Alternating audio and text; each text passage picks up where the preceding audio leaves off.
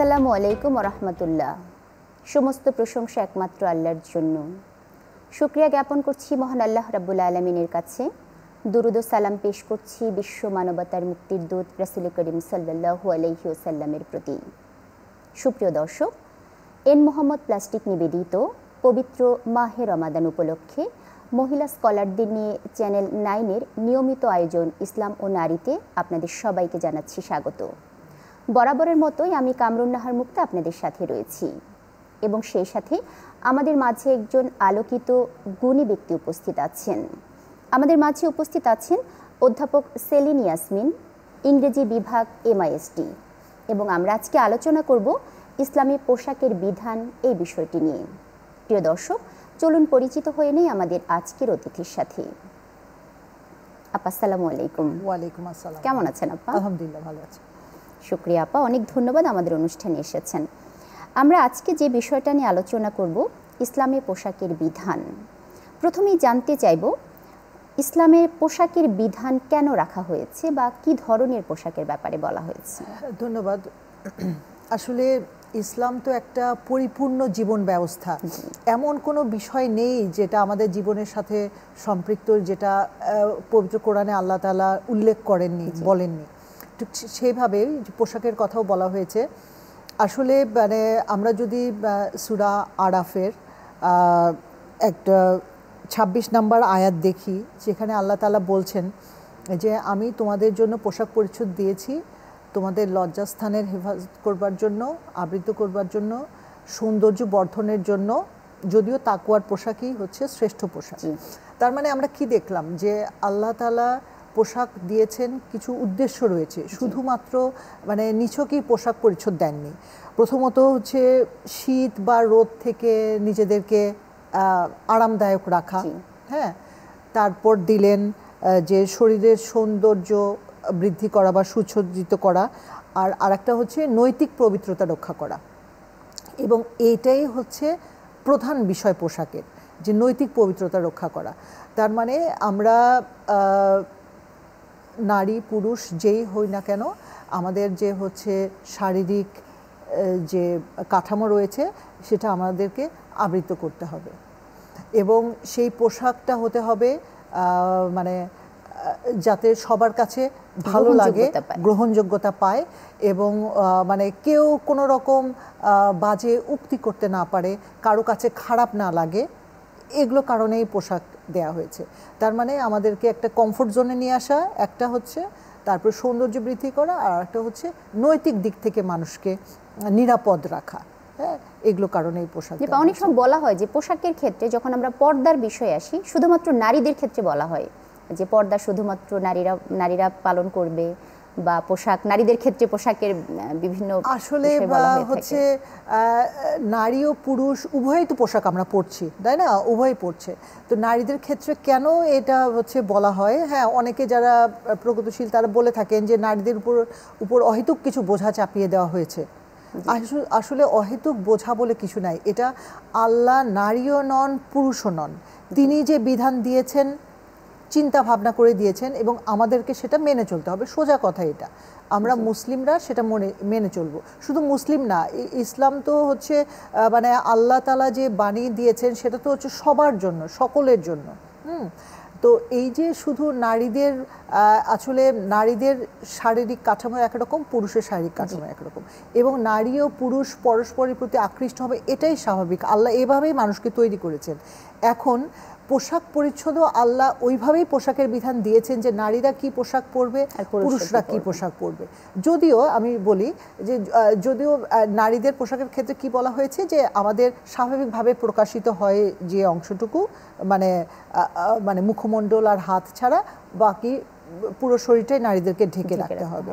হুম তো এটা আমি অহেতুক দিয়েছে এটা ভাবার কোনো কারণ নেই। হ্যাঁ কারণ আল্লাহ তালা নারীদেরকে অনেক মর্যাদা দিয়েছেন অনেক সম্মান দিয়েছেন এবং কোনো কোনো ক্ষেত্রে নারীদেরকে পুরুষের চেয়েও একটু সম্মান মর্যাদা অনেক ক্ষেত্রে বেশি দিয়েছেন।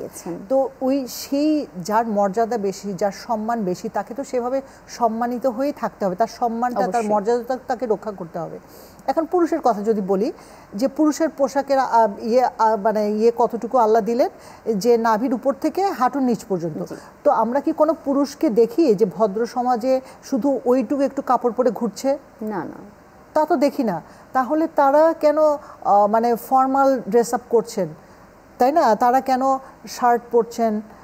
তারপরে হচ্ছে প্যান্ট পরছেন বা পাঞ্জাবি পরছেন। বা পাজামা পরছেন তারা তো পুরো পোশাকটাই পরছেন তো তাদেরকে ওইটুক লিমিট দেওয়ার পরেও তারা বেশি পড়ছেন কেন পড়ছেন কারণ সব কিছুর মধ্যে একটা শালীনতা রয়েছে। হ্যাঁ আমরা আজকাল অনেক পুরুষের মধ্যেও দেখি না যে হচ্ছে হাঁটুর উপর পর্যন্ত একটা শর্টস পরে ঘোরাঘুরি করছেন বা স্লিভলেস একটা মানে টি শার্ট পরে ঘুরছে। ওটা কি দেখতে খুব ভালো লাগে? পুরুষের জন্য ওটা ঠিক থাকলেও তো ওটা দেখতে ভালো লাগে না। শালীন নয় হুম? তো আমরা মানুষ আমরা সভ্য জাতি আমরা তো অশালীন কিছু চাই না। সেটা নারী হোক বা পুরুষই হোক উভয় ক্ষেত্রেই আল্লাহ যে বিধান দিয়েছেন যে সেটাই আমাদেরকে মেনে চলতে হবে। তো প্রথম আমরা সুরা আল নূরের দিকে যদি তাকাই হ্যাঁ তিরিশ একত্রিশ নম্বর আয়তা আল্লাহ কি বলছেন? প্রথমে কিন্তু আমাদেরকে দৃষ্টি অবন অবনত রাখতে বলছে এবং সেটা কিন্তু প্রথমে পুরুষদেরকেই বলছেন। তাই না? হ্যাঁ মুমিন পুরুষরা তার দৃষ্টি অবনত লাগবে রজসের হেফাজত করবে তারপরে তিনি নারীদেরকে বলছেন। তার মানে নারীদের উপর অহেতুক কিছু বোঝা চাপিয়ে দিয়েছে বা নারীদের ইয়ে বেশি সেটা ভাবার কোনো কারণ নেই। নারী পুরুষ উভয়কেই আল্লাহ সুবাহ তালা শালীনভাবে চলতে বলেছেন। জি আপা এই বিষয়টা নিয়ে আমরা ফিরে আসব ছোট্ট একটা বিরতির পর। আপনারা দেখছেন এন মোহাম্মদ প্লাস্টিক নিবেদিত মহিলা স্কলারদের নিয়ে বিশেষ আলোচনা অনুষ্ঠান ইসলাম ও নারী। সময় হলো ছোট্ট একটি বিরতির। সাথেই থাকুন।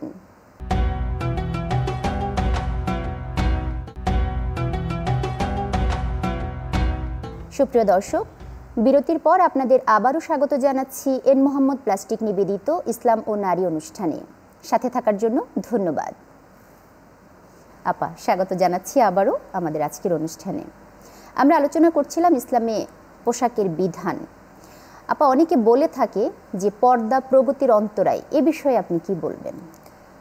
আসলে যারা এটা বলে থাকেন তারা বোধহয় একটু সূক্ষ্মভাবে চিন্তা করেন না হ্যাঁ? কারণ পর্দা বা মহিলাদের পোশাকের বিধান মহিলারা যে ড্রেস কোড পরবে এটা কখনোই প্রগতির অন্তরায় হতে পারে না। এটাই যদি হতেন আমি একটু রাসুল সাল্লাহ সালামের যুগেই ফিরে যাই তারপর বর্তমান যুগে আসছি। আমরা কি দেখেছি? খাদিজা রাদি আল্লাহ আনহা উনি একজন বিজনেস পার্সোনাল ছিলেন তাই না? উনি ব্যবসায়ী ছিলেন একজন এবং সফল ব্যবসায়ী ছিলেন। অনেক ধনাঢ্য মহিলা ছিলেন উনি তাই না? আমরা আয়সার আদেহাল্ল আনহারকে দেখি ওনার মতো জ্ঞানী মহিলা বোধহয় এখনও আমরা কেউ হতে পারিনি তাই না? যেটা হওয়া বোধহয় সম্ভব না। উনি ও এরকম শিক্ষা দিতেন রাসুল সাল্লামের জীবনের প্র্যাকটিসগুলো বিভিন্ন উনি শিক্ষা দিতেন। তারপরে আমরা যদি তারও একটু পরে আসি প্রথম বিশ্ববিদ্যালয় প্রতিষ্ঠিত করেছিল দুই মহিলা দুই বোন হ্যাঁ? আচ্ছা।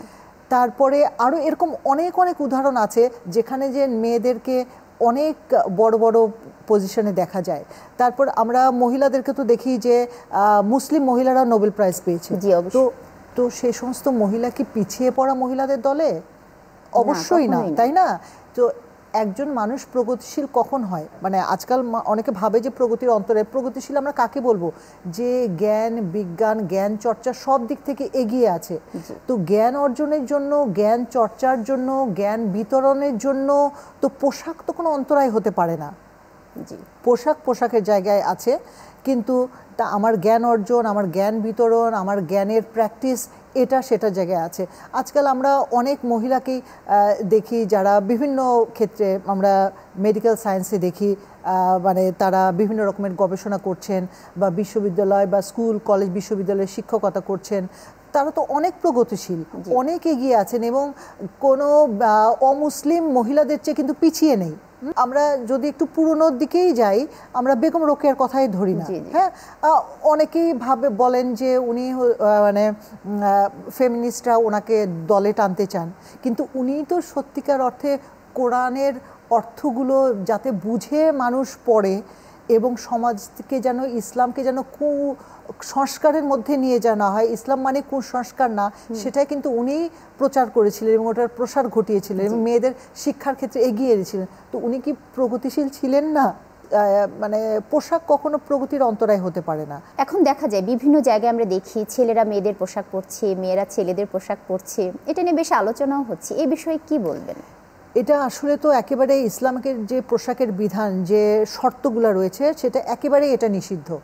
মানে এক লিঙ্গ বিপরীত লিঙ্গের পোশাক পরবে না। তাদেরকে আইডেন্টিফাই করতে হবে কে নারী কে পুরুষ এটা আমাকে ক্লিয়ারলি আইডেন্টিফাই করতে মানে আমরা যেন করতে পারি দূর থেকে দেখে বুঝতে পারি যে বুঝতে পারি সে ছেলে না মেয়ে।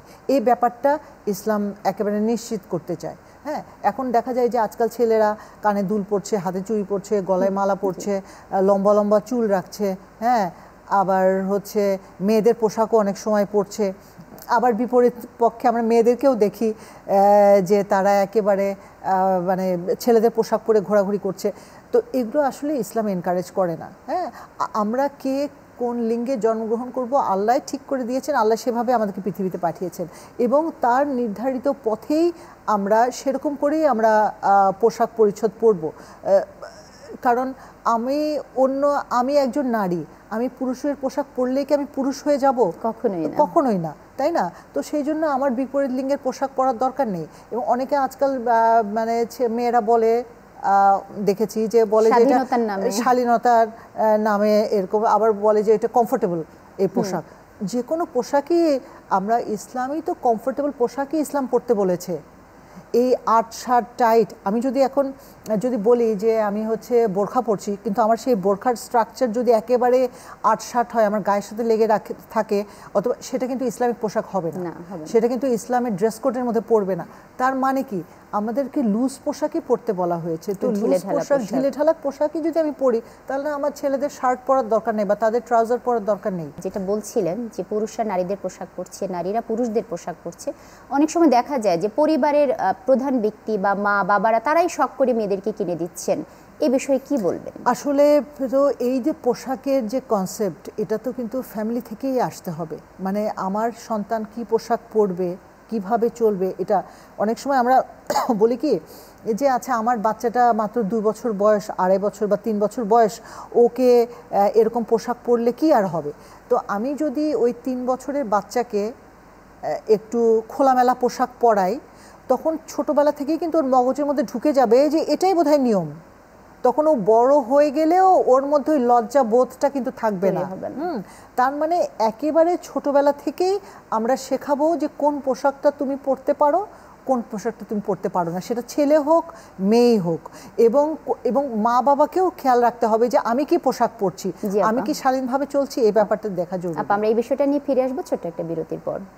আপনারা দেখছেন এন মোহাম্মদ প্লাস্টিক নিবেদিত, পবিত্র মাহের রমাদানের নিয়মিত আয়োজন ইসলাম ও নারী। সাথেই থাকুন।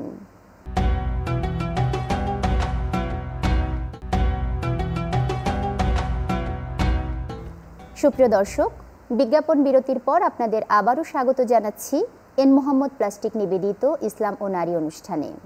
আমরা আজকে আলোচনা করছি ইসলামী পোশাকের বিধান। এ বিষয়ে আলোচনা করছেন অধ্যাপক সেলিন ইয়াসমিন, ইংরেজি বিভাগ এমআইএসটি আপা, আমরা আলোচনা করছিলাম যে পোশাকের ব্যাপারে পরিবারের দায়িত্বের বিষয়ে। হ্যাঁ আসলে পরিবারের মানে মা বাবাকে খেয়াল রাখতে হবে যে আমি আমার সন্তান কারণ সন্তান যখন মা বাবার কাছে থাকে তখন তো সে ওই মানে আমার অধীনস্থ মানে আমার অধীনে আছে সে তাই না? মানে ও তার পোশাক কিনছে না কিনে দিচ্ছে আমি। এখন ভাবি যে আমরা আচ্ছা কিনে দিই এরকম পোশাক আবার আজকাল খুবই অবাক হয়ে দেখে মানে মানে ইয়েতে গেলে দোকানে গেলে যে বিভিন্ন সিনেমার নামে ভীষণ বিভিন্ন নায়ক নায়িকার নামে পোশাক বের হয়েছে নামকরণ করা হয়েছে এবং সেগুলো পোশাক কিনতে ছেলেমেয়েরা খুবই আগ্রহী। তো মা বাবাকে এটা খেয়াল রাখতে হবে যে এই পোশাকটা পরে আমার সন্তান বাইরে বের হবে এটা কি উচিত হবে কি হবে না? এটা পরিবারের গুরুজনদের খেয়াল রাখতে হবে। আবার অনেক সময় রাস্তাঘাটে আমি দেখি খুবই অবাক হয়ে যাই। মা হয়তো পাশে আছেন উনি হচ্ছে একেবারে হিজাব করা কেউ কোনো কোনো ক্ষেত্রে নিকাব করা। পাশে ওনার যে কিশোরী মেয়েটা সে একেবারে খোলামেলা পোশাক পরে আছে। তো এটা কিন্তু একেবারে উচিত না। আমি যেটা মানছি তার মানে আমি বিশ্বাস করছি বলে এটা মানছি। তাহলে আমার মেয়ে কেন সেটা মানবে না?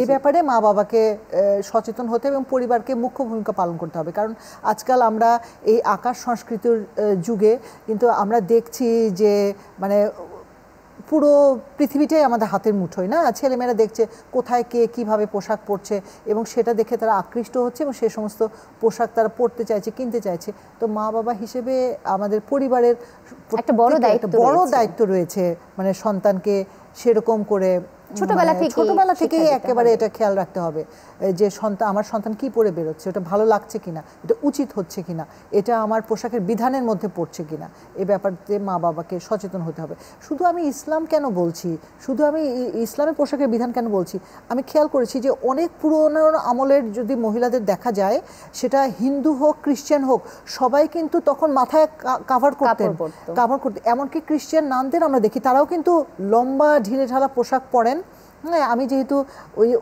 হোলি ক্রসে পড়েছি, তো আমাদের সিস্টাররা ওনারা কিন্তু লম্বা ঢিলে ঢালা পোশাক পরতেন এবং মাথা কাভার করতেন। তো তার মানে এটা শুধু আমি যদি শুধু আমার ধর্মের মধ্যে রাখি তা না, সকল ধর্মে কিন্তু এই শালীনতার ব্যাপারটা রয়েছে। তো যেটা পরিবার থেকেই আসতে হবে, সেটা যে যে ধর্মেরই হোক না কেন। জি আপা, জানতে চাইব, এই যে ইসলামী পোশাকের বিধান, এই বিধানটা চর্চা করবার জন্য বা এই নিয়মত চলার জন্য আমাদের কি কোনো করণীয় আছে?